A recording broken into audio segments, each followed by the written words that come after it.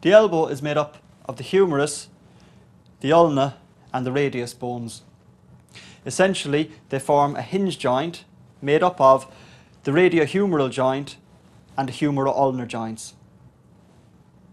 The lateral epicondyle of the humerus is a very important point as the wrist extensor muscles originate from this bony landmark. Medially, the medial epicondyle of the humerus is a very important point as the wrist flexors and forearm pronators originate from this point. Distal to the elbow joint lies the superior radio-ulnar joint. And just proximal to the wrist joint, you'll come to the distal radio-ulnar joint.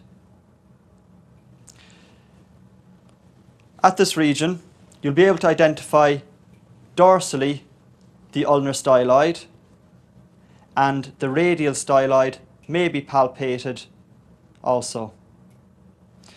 Just distal to the radius and ulna, you'll come to the proximal row of carpal bones.